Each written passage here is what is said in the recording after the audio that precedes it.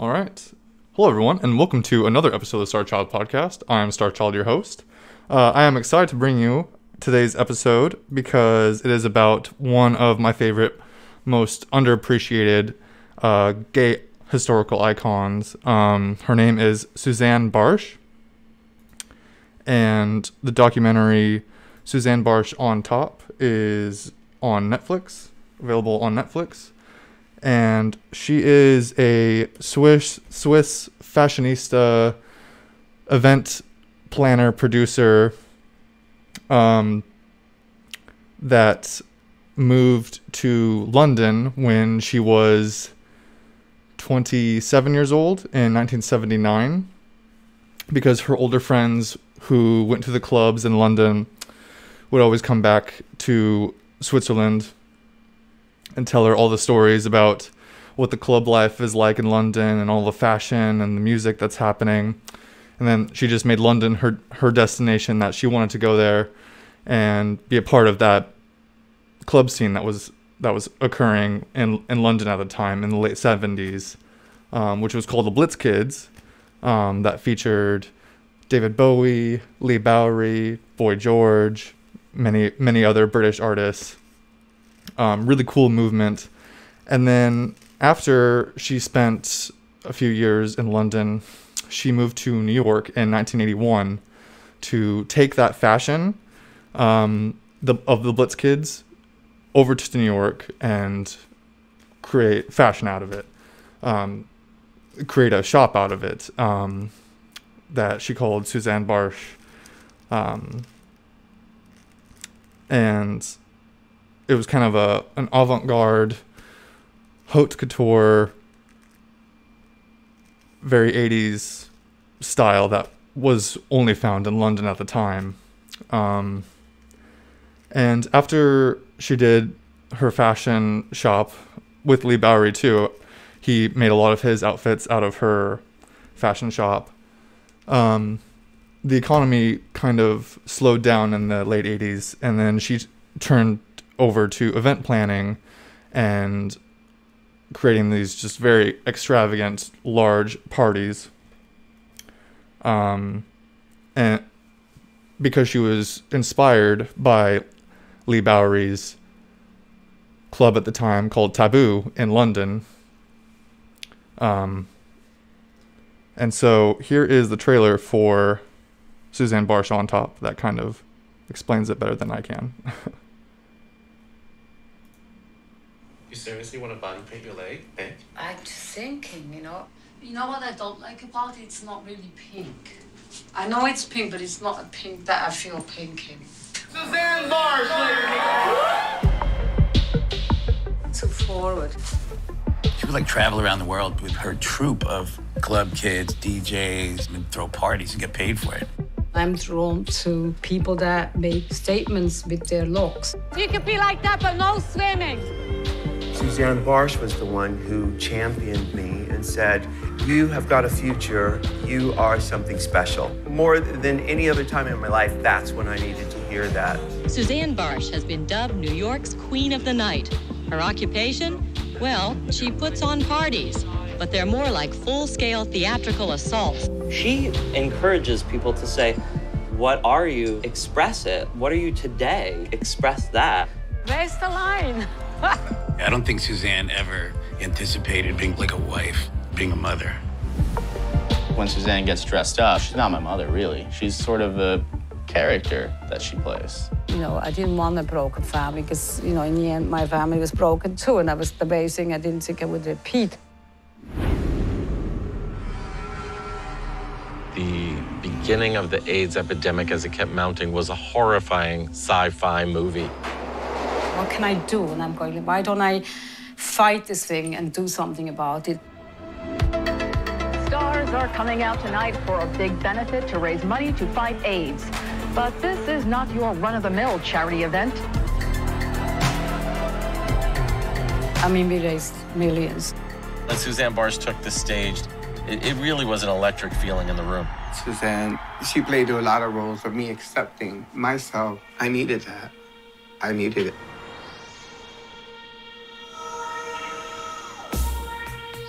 I feel like you're getting married.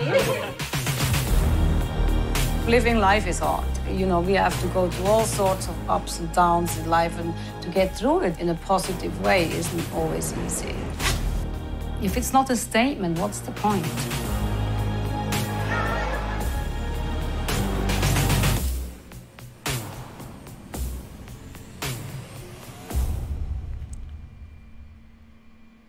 So the documentary is called Susanne Bartsch on Top, and so she sh- she shows up in New York in 1981, uh, and opens up her fashion shop. Um, alongside with Leigh Bowery, he's making his looks out of her shop too, and she pivots then from fashion to focus mainly on event planning and party planning, and she did mainly events at the Copacabana, Bentley's, and a club called Sauvage. And Susanne Bartsch was actually the one that really discovered RuPaul, who gave him the chance to MC at Copacabana. Copacabana. And here is a quick clip from Nelson Sullivan's YouTube page called Five Ninth Avenue Project. And he he just basically lived his life with a camera in his hands and just documented 1980s New York better than really anyone um, ever in history. And so a lot of his candid footage is used in many of these documentaries about the club kids in the 1980s. And so here's a clip of the Copacabana in 1988, um, the year that Susanne Bartsch um, hired RuPaul to MC.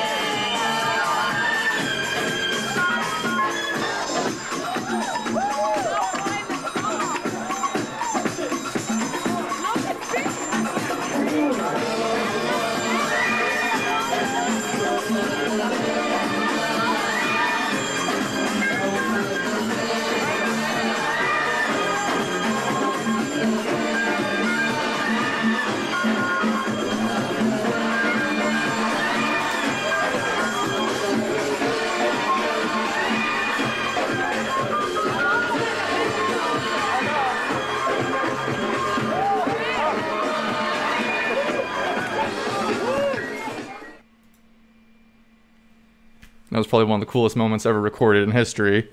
Um, of the tail ends of the disco movement that was at the Copacabana. Uh, next is a clip from the documentary Susanne Bartsch on Top that quickly describes um, her life, her life's work.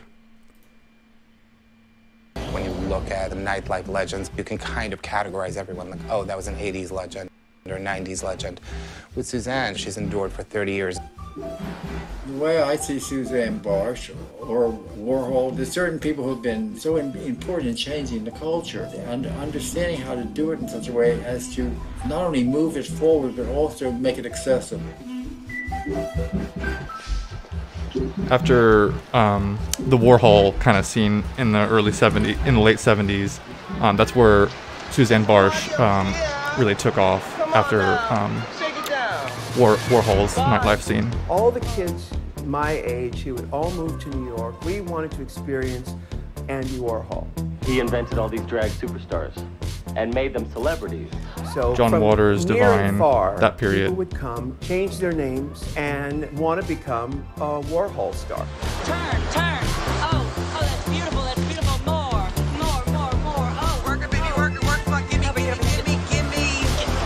But most of the Warhol scene was gone.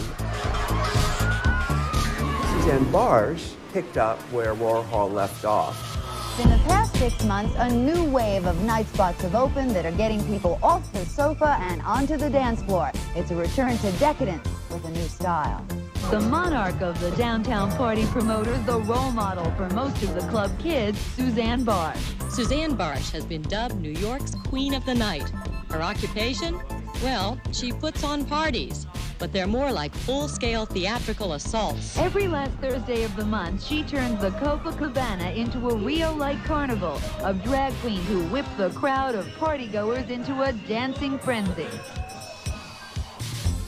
There is a message with it all. I try and unite people, break barriers, gay, straight, uptown, downtown, drag, businessmen, make people feel good. And once every so often when I do a party, I hope that I achieve that. And I think that's what it's about.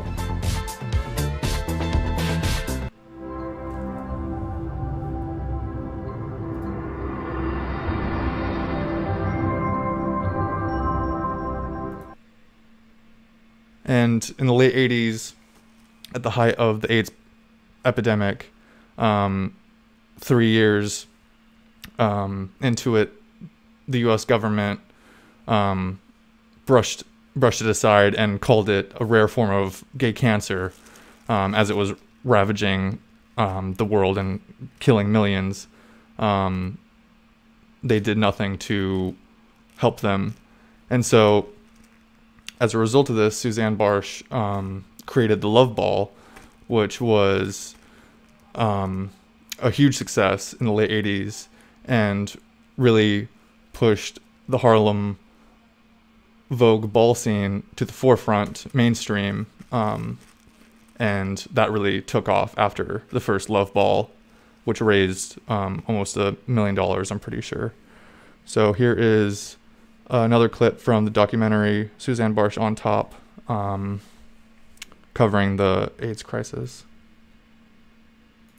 Scientists at the National Centers for Disease Control in Atlanta today released the results of a study which shows that the lifestyle of some male homosexuals has triggered an epidemic of a rare form of cancer.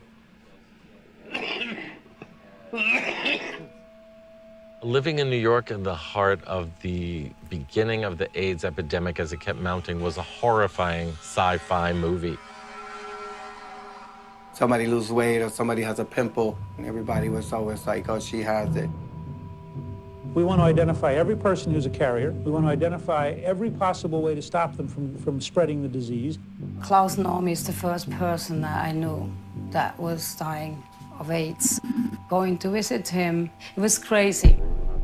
The Klaus was at the hospital. It was like they had found an alien from Area 51, all in plastic and covered up. They put me in a jumpsuit and a mask and a helmet and gloves. They said, we don't know what this is.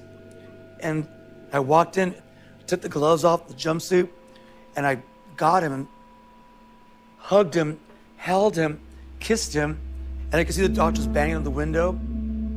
If the only way to stop them, stop it is quarantine people, I, I don't think any, there's any way around it. I think they're going to have to do it. These people, they're, they're not fit, they're not human beings, they're, they have emotional problems. Do they see them on the street, RuPaul? You're the disgrace to the human race, you know that?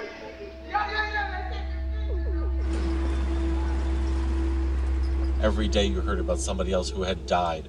Everybody was torn between grief and terror and absolute rage at the government because President Reagan did not mention a word for years. Mr. Reagan said prevention is better than a cure. Abstinence has been lacking in much of the education. Within my own community, you know, ballroom community, I started seeing how everybody was pushing away. Like, you know, don't touch me, you know, like they wouldn't eat from the same spoon, they wouldn't do anything, they don't want to breathe next to one another. You didn't even know what to make of it. It was a, a creative holocaust on everyone that one knew. Gary and Julio, who lived here with me, they both died of AIDS, and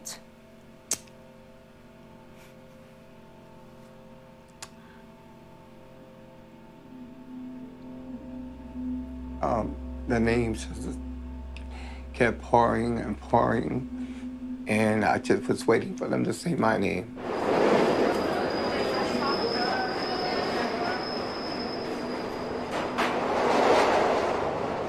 When I was personally diagnosed, I accepted it right there on the spot. The doctor only confirmed what I already knew, because I, I felt I'm gay. I have AIDS. Without even knowing, I just felt like, you know, it would, being gay is, is being gay is AIDS. Street kids at one point were bonded, but I wasn't getting help from anybody to say it's okay, we love you, because they were going through the same thing.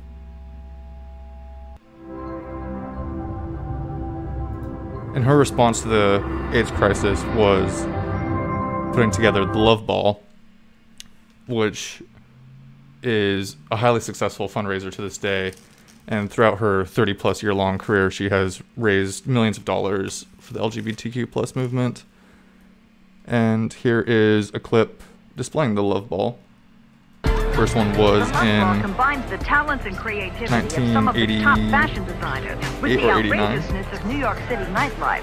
What results is a visual feast mixing uptown, downtown, and in many cases, way out of town. It's wild. I think no one who's not here can expect what it is. This is nice drag, girl. I'm just doing it because I want to inspire these people here, you know? The Featuring looks just so far ahead of is their a time. fashion competition based on the voguing balls in Harlem. Although the scene looks Harlem Vogue, which no one had really seen before, probably the most serious was all of a sudden pushed to the front of the spotlight.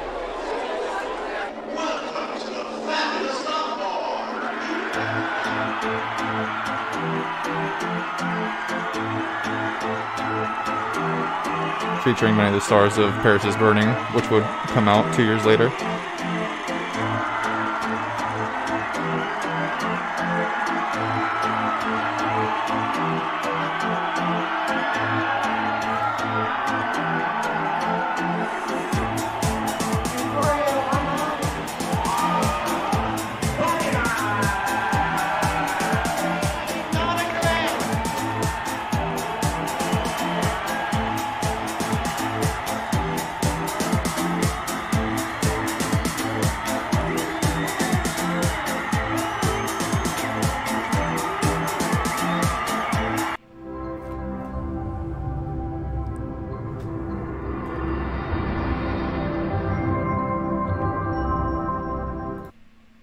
She has hosted many, I mean, thousands of thousands of events over the years, and many fundraisers highly suc successful to this day. Um, the last Lo- Love Ball was last year, um, and here is a clip that kind of really showcases what her parties are like, um, the kind of fashion that you see that shows up.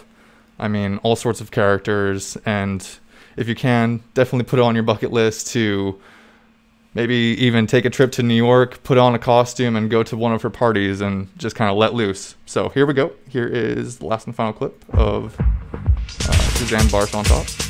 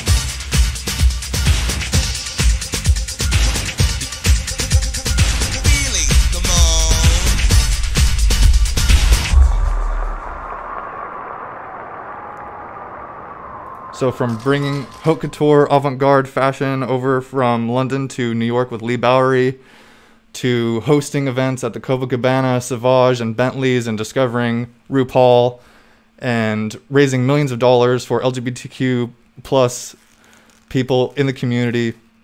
Susanne Bartsch is one of the most underappreciated um, gay icons, fashionistas that has ever lived, and I hope you check out this documentary, Susanne Bartsch on top. Um, and I hope you enjoyed this podcast. Um, I'm Starchild. This is the Starchild podcast. Please follow me on Twitter and Instagram. My handles will be in the description below, as well as my website, starchildgallery.com. I have a bunch of goodies there to check out. Um, and stay tuned for a podcast anytime soon. All right, I'll see you guys later. All right.